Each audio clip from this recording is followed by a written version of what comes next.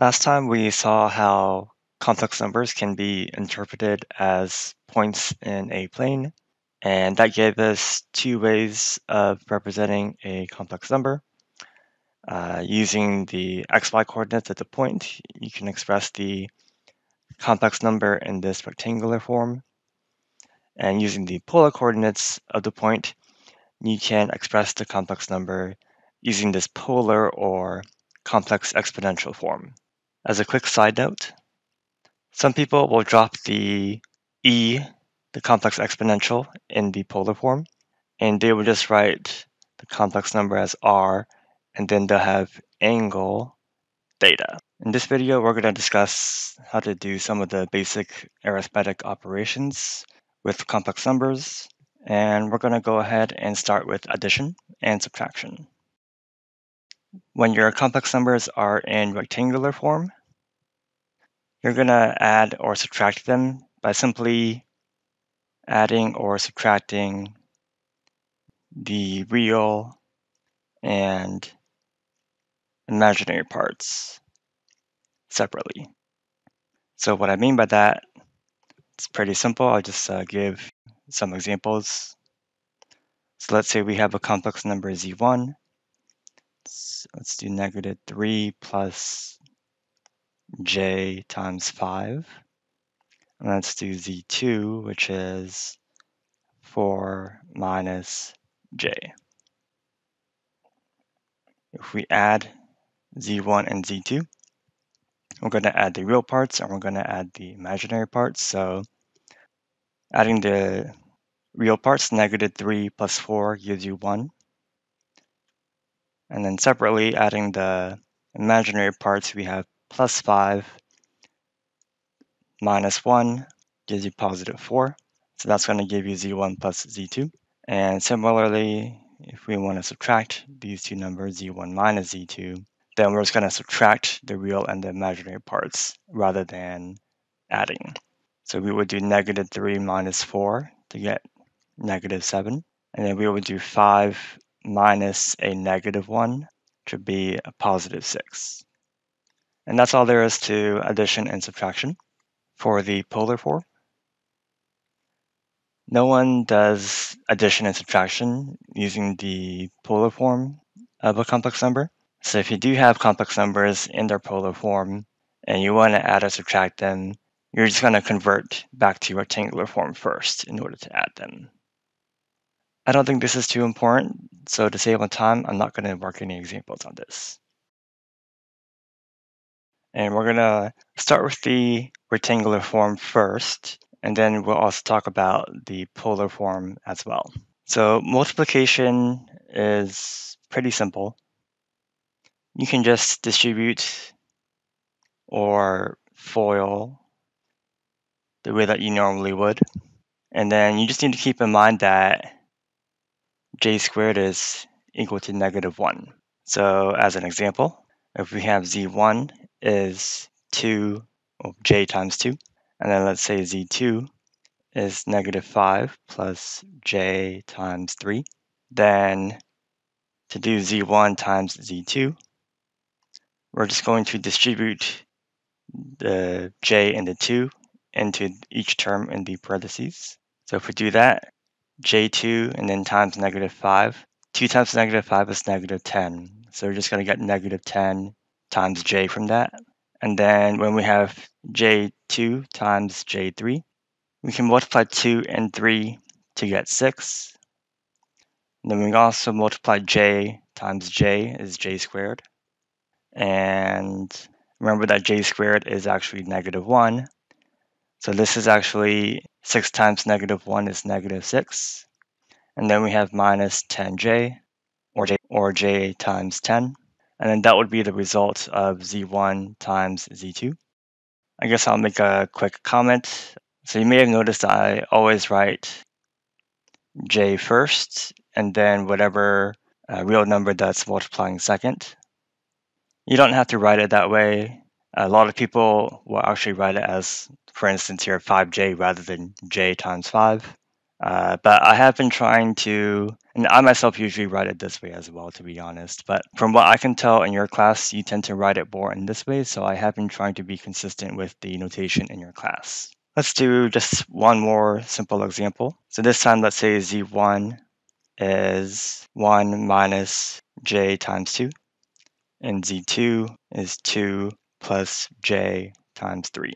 So this time, to multiply z1 and z2, it's a little bit more complicated. So in this situation, we're going to FOIL out what we have here. So we can do 1 times 2 is 2. 1 times j times 3. It's just j times 3. Then we have minus j times 2 times 2. It's going to be minus 4, well, j times 4. And then finally, minus j2 times j3. 2 and 3 gives us 6, and j times j gives us j squared. So we have minus 6, and j squared. Again, j squared is negative 1, so this is going to turn into plus 6 altogether. And then we can add the real parts, so 2 plus 6 will give us 8. And then we can add the imaginary parts, so 3j minus 4j will give us negative 1j. So that's how complex multiplication works in the rectangular form. So division is a little bit trickier to do in the rectangular form. Uh, I want to take a look at a simple example first. So let's say we have z1 is negative 3 plus j2. And then let's say we have z2, which is j4. And we want to do z1 divided by z2. So we have negative 3 plus j times 2 over j times 4.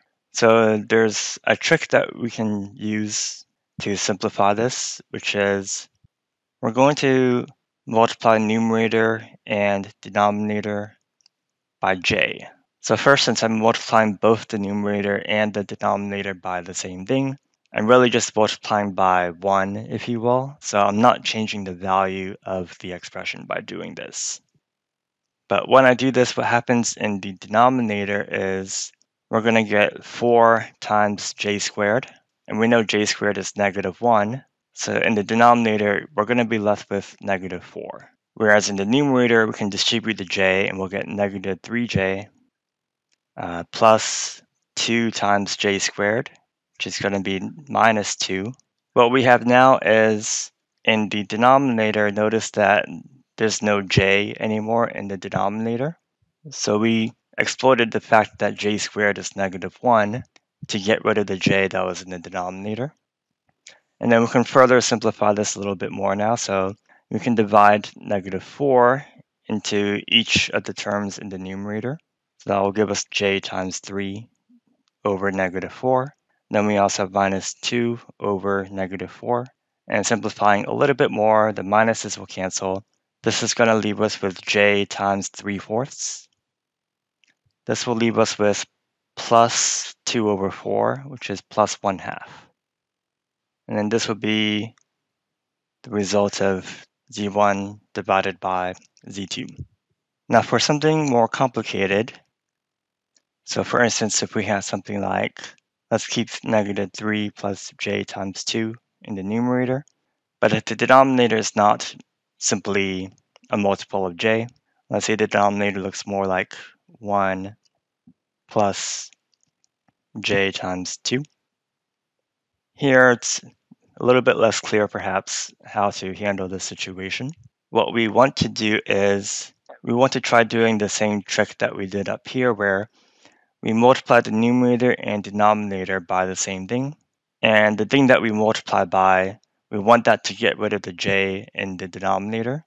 Because once we're left with a real number in the denominator, we can then split the fraction into a real and an imaginary part, as we did here. So the goal is to figure out what should we multiply by to the numerator and the denominator to get rid of the j in the denominator. So what we need to multiply by is called the complex conjugate. I'm going to introduce what complex conjugates are first. So if we have a complex number z in the rectangular form, x plus jy, its complex conjugate, we denote that by z star, and the complex conjugate of z is going to be x minus j times y. So basically, you are just changing the sign in the middle from plus to minus, or similarly, if you had minus in the middle, for the complex conjugate, it would change to a plus. Uh, an example to make sure that we all understand this. If you have z is 2 minus j3, then z star, the complex conjugate of z, would be 2 plus j times 3. If z is actually a real number, like say if z were equal to 4, think of that as 4 plus j times 0.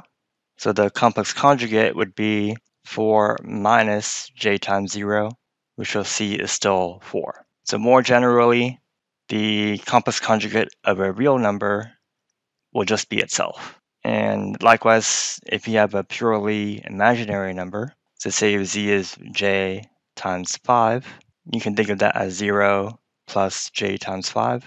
So the complex conjugate of that should be 0 minus j times 5. So it would be minus j times 5. Now, for us, what complex conjugates are useful for? Now, for us, what the complex conjugate is useful for is if we multiply z times its complex conjugate. If we FOIL this out, we're going to get x squared minus jxy plus jyx minus j squared y squared. Now these middle two terms are going to cancel out. And then over here, j squared is negative 1. So this will actually become plus y squared. So we see that when we multiply a complex number with its complex conjugate, the result that we get is x squared plus y squared. And you'll notice that that is a purely real number because there are no j's in that expression. This will help us in doing complex division. So to see how that will work is, let's take the example that we have negative 3 plus j times 2 over 1 plus j times 2. What we're going to do is multiply numerator and denominator by the complex conjugate of the denominator. By doing this in the denominator here, when we multiply these together, we're going to end up with a real number. Specifically, we're going to end up with x squared plus y squared. x was 1 and y was 2. In the numerator, we would have to FOIL this stuff out. So we'd have to do negative 3 times 1 is negative 3. Negative 3 times negative j2 that will give us positive 6j. We'll get plus 2j. And then here we'll get minus 4j squared. So that leaves us with 5 in the denominator. In the numerator, 6j plus 2j is 8j, which I'll maybe switch back to writing as j times 8. And then j squared is negative 1, so minus 4j squared is actually plus 4. And then negative 3 plus 4 gives us 1. So in general, for complex division, when you're in the rectangular form, the trick is to multiply numerator and denominator by the complex conjugate of the denominator. Next, we'll talk about how to do multiplication and division using the polar form for a complex number. So let's say we have two complex numbers, z1, which is r1 e to the j theta 1, and then z2 is r2 times e to the j theta 2. Some of the properties of exponents that you should be familiar with uh, continue to hold when we're multiplying complex exponentials like the two that we have here. So just in case you guys need a reminder, some properties of exponents, if you have u to the n times u to the n. You can combine these two by adding the exponents. And if you are dividing two powers like this, you can combine them by subtracting the exponents instead. I'll also remind everyone that when you have a negative exponent, that moves it down into the denominator. So u to the negative n becomes 1 over u to the n. So when we multiply z1 and z2, all we're going to do is multiply the coefficients, and then we're going to multiply the two complex exponentials, and when we multiply them, we can use this property here and combine them into a single complex exponential by simply adding the exponents together. So if we simplify this a little bit, in the exponent, we can factor the j out from both terms. And then this will give us the product of z1 and z2 in polar form. Division is similar, so if we're doing z1 over z2, so we'd have z1 over z2. Uh, similarly, we can just divide the coefficients, r1 over r2, and then we can divide the complex exponentials. And to do that, we'll use this property here. Since we're dividing, we can combine them into a single exponential by subtracting the exponents. And I've already gone ahead and factored the j out from both terms. So then this tells us how multiplication and division work in the polar form. And then as you can see, it is simpler than the rectangular form. So whereas for addition and subtraction, it's more convenient to use the rectangular form for complex numbers. For multiplication and division, it is more convenient to use the polar form instead. And let's just take a look at a couple of examples. Let's say if z1 is 3 e to the j times pi over 3.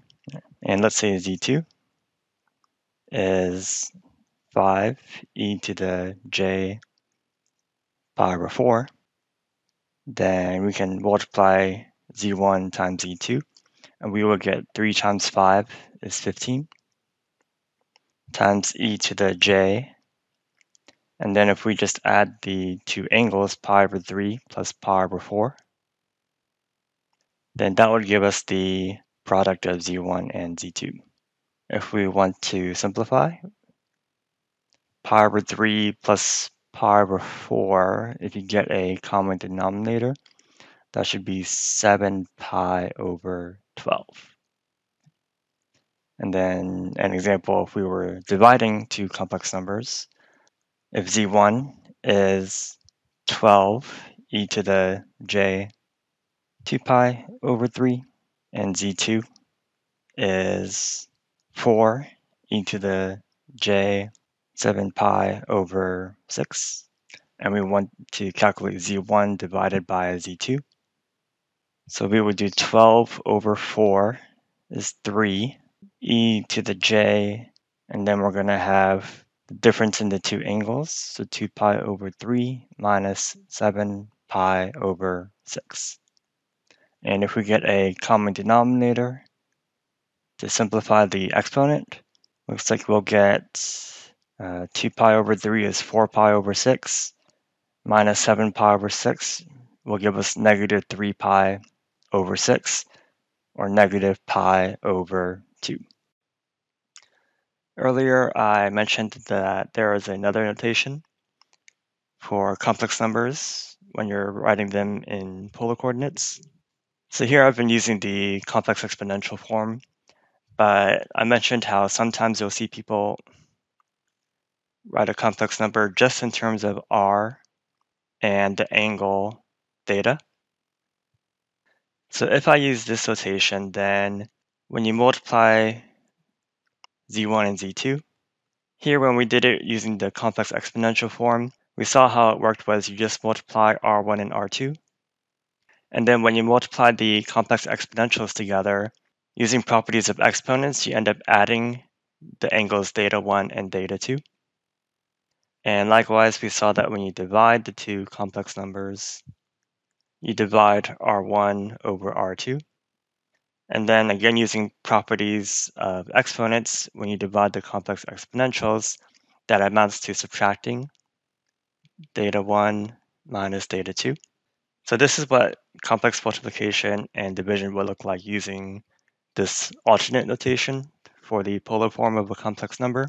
So here in this example, you could write z1 times z2 is 15 for r. The angle ended up being 7 pi over 12.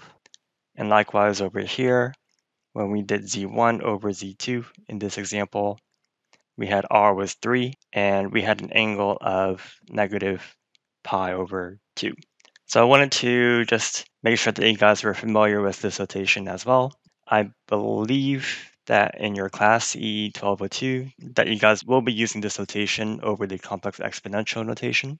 I wanted to do this using the complex exponential notation though, because I think using the complex exponential, that's where it makes sense that you would add the exponents together when you're multiplying and subtract the exponents when you divide, we can see that that comes naturally from properties of exponents. Whereas if I just introduced these rules here without the complex exponential, it would maybe not make much sense why we were adding and subtracting the angles. Now, I want to talk a little bit about the interpretation of complex multiplication and complex division. Let's say that we have a complex number z as a point in the plane r represents distance to the origin, theta is the angle that it makes with the positive x-axis, and then we could express this, this complex number z as r and theta. So I'm going to go ahead and use this notation now. And then let's say we had another complex number, which I'm going to call w. So w will have, in polar coordinates, let's say w is r1, angle theta 1. So we talked about how multiplying W times Z in polar form, that product will be R1 times R. And then for the angle with multiplication, the angles add together. So theta plus theta 1. So what this means is when we multiply by W, so in the picture, what this means is first adding theta 1 to theta, that means that we're kind of rotating the picture by adding some additional angle to it. So let's say this angle was theta 1, what we've done is we've rotated z to now lie somewhere along this angle. And then furthermore, since we multiplied by r1, that affects the distance to the origin. Let's say that this point here, if this was w times z, then this distance from that point to the origin would, would be R1 times R. So when we multiplied by W, we did two things. We kind of scaled the picture by a factor of R1, and then we also rotated by the angle of theta 1. So when you multiply by a complex number, you are scaling and rotating. That's what's going on. The same is true of division as well. Division is also scaling and rotating. The only difference is, so for z divided by w, we would have r divided by r1. And as for the angle, for complex division, the angles get subtracted. So we'll have theta minus theta 1. So you could say that z has been scaled by a factor of 1 over r1 since we multiplied the original r by 1 over r1. And we are rotating by an angle of minus theta 1 this time since we are subtracting an angle of theta 1 from the original angle theta. Remember that rotating by a positive angle, that's a counterclockwise rotation, whereas rotating by a negative angle means it's a clockwise rotation. As a special case of what we just talked about, Let's consider the imaginary number j, which remember that j, you can think of it as 0 plus j times 1. So as a point in the plane, it would be located at the point 0, 1. Its distance to the origin would be 1, so r would be 1. It's on the positive y-axis, so the angle theta would be pi over 2. So in polar form, j would be 1 with an angle of 90 degrees or pi over 2 radians. Maybe I'll go ahead and use degrees this time. And then let's say we have another complex number z, which in polar form is r and in an angle theta. When we multiply by j, we would multiply 1 times r, so we just get r again. For the angle, we would add 90 degrees to theta. Likewise, if we were to divide by j instead, we would have r divided by 1, which is still r. As for the angle, we would do theta minus 90 degrees. One place where this comes up in EE 1202 is looking at the voltage and impedance of capacitors and inductors in an AC circuit. So very briefly, we have these formulas that the voltage of a capacitor is equal to the current through the capacitor times the impedance of the capacitor. And the formula for the impedance of a capacitor, it's 1 over J times omega, which represents the angular frequency of the alternating voltage source, and then times the capacitance of the capacitor C. And likewise for an inductor, people use L for inductors. The voltage of an inductor is equal to the current through it times the impedance of the inductor. And then the formula for the impedance of an inductor is J times, again, omega, which represents angular frequency, and then times the inductance of the inductor, L. So looking at the formulas for the voltage of a capacitor and an inductor, notice that here we are multiplying by J, as we saw earlier, multiplying by j is going to add 90 degrees to the overall angle. So that means the overall angle for the voltage of the inductor is going to be 90 degrees more than the angle for the current. So that means that the voltage of the inductor it leads the current by 90 degrees. On the other hand, over here, for the voltage of the capacitor, in the formula we are dividing by J. And we know that when we divide by J, that leads to subtracting 90 degrees from the initial angle.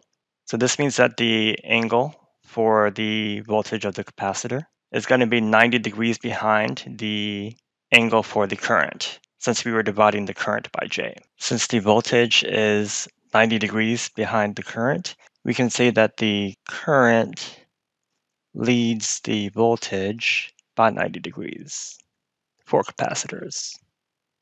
So this is just a small example of where some of the stuff that we're talking about will come up in your class. Next, I'm going to talk about complex conjugates again, but now using the polar form of complex numbers. So remember that if z is x plus jy, the complex conjugate z star is x minus jy.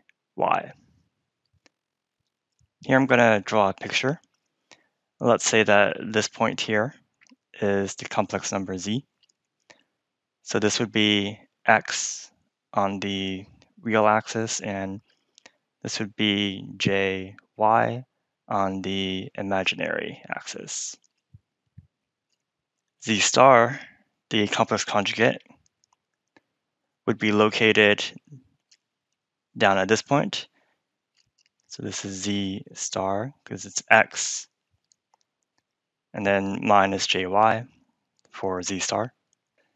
So what we see is that complex conjugate, what it does is it basically reflects across the real axis. So the distance between z and the origin is going to be the same as the distance between z star and the origin as well, since that distance doesn't change under reflections. And then whatever angle theta this is, this angle is also going to be theta. In this picture, z in polar form would be r e to the j theta, or simply r angle theta. As for the complex conjugate z star, it's going to be r, but it makes an angle of theta with the positive x-axis, but this is going to be measured clockwise from the x-axis to get to z star. So remember that when you're measuring an angle clockwise from the x-axis, you have to put a minus sign in front of it. So that means that z star is actually going to be r e to the j times negative theta. So for complex conjugates in the polar form, r remains the same, but theta gets negated. So for example, if z is the complex number 3 e to the 5 pi over 4 times j, then z star, the complex conjugate, be 3 e to the negative j 5 pi over 4. And then lastly, I also want to talk about calculating the square root of a complex number. So for calculating square roots of a complex number, you really need to be using the polar form. There's really no easy way to calculate a square root using the rectangular form. And the idea is pretty simple. Recall that when you're square rooting a real number, that's the same as raising it to a power of 1 half. And the same is true for complex numbers as well. And then another property of exponents that I want to remind you guys of is when you have something raised to a power, and then all of that being raised to another power, you can rewrite that by simply combining the exponents into 1 by multiplying them together. And then there's one more property of exponents that I want to mention as well, which is when you have a product and you raise it to a power, you can distribute that power to each term in the product. And so using these properties of exponents, this will allow us to easily calculate square roots. So the way that works is if z is r e to the j theta, then the square root of z it would be the same as raising all of this for z to a power of 1 half. And then using this third property, you can distribute the 1 half to each term. So you'd get r to the 1 half, and then you would get e to the j theta, all to the power of 1 half. And then using this second property here, we can simply multiply this 1 half into the exponent of the e. So what that leaves us with is the square root of z is going to be r to the 1 half, which I will rewrite as the square root of r. And then multiplying the 1 half into the exponent, we're going to get e to the j times theta over 2. Now technically for complex numbers, uh, there are two square roots. So just like how any positive real number, there are technically two square roots, plus or minus. Same thing with complex numbers. So technically for square root of z, it should be plus or minus the square root of r, and then e to the j theta over 2. For a quick example of this, let's say that z is 16 e to the j pi over 3. Then the square root of z would be plus or minus the square root of 16 times e to the j, and then I want to multiply pi over 3 by 1 half, and that will give me pi over 6. And then if we want, we can simplify this a little bit. Namely, square root of 16 is 4. So the square root of z is going to be plus or minus 4 times e to the j pi over 6 using the alternate notation without the complex exponential. If z is r angle theta, then what we're saying is that the square root of z would be the square root of r with an angle of theta over 2. And technically, it could be plus or minus this. So this is the same thing as what we just talked about, just using the alternate notation without the complex exponential. So you just square root r and then divide the angle by 2, and that's how you get the square root of a complex number. That's it for this video.